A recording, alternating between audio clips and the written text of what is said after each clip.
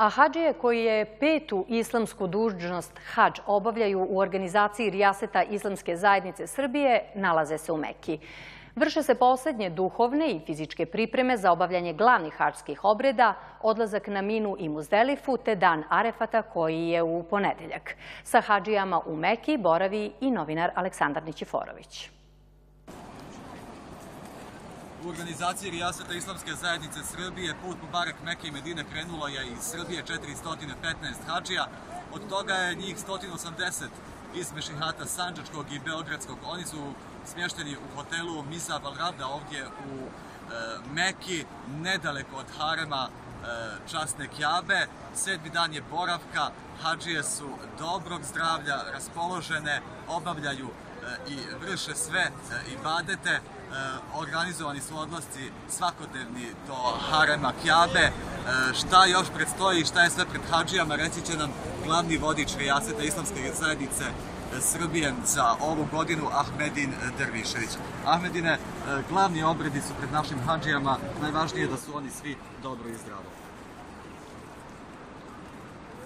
Hađije su, hvala Bogu, dobro ovaj, nemamo nekih velikih zdravstvenih problema, malo grlo i to. To su neke osnovne stvari koje se dešavaju redovno.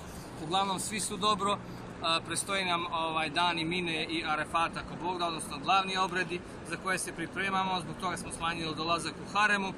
Ovaj, u nedelju ako Bog da odlazimo na Minu, onda ponedeljak na Arefat, vraćamo se utorak na Muzdelifu, na kamen, bacanje kamenčića i onda hađije dolaze u hotele gde ovaj, završavaju sa ovim glavnim obredima hađskim. Hvala Bogu, svi su dobro i uče dove za naš narod, za Sanđak, za, za ovaj, sve muslimane širom svijeta, također za braću u Turskoj koja ih je pogodila, ovaj, koja je do, pogodila ovaj, ekonomska kriza ili ekonomski rat.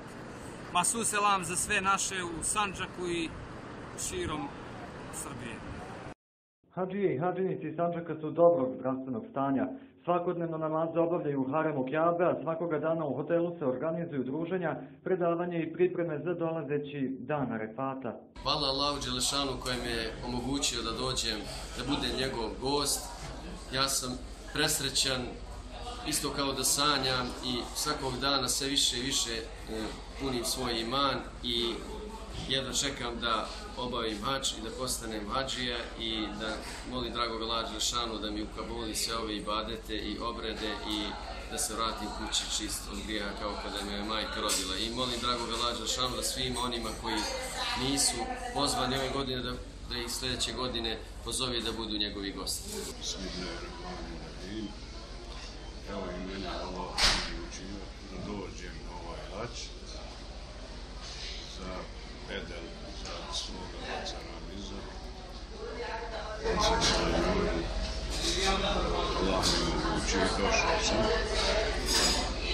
Organizacija je dobra. Sve je znači u najboljem redu.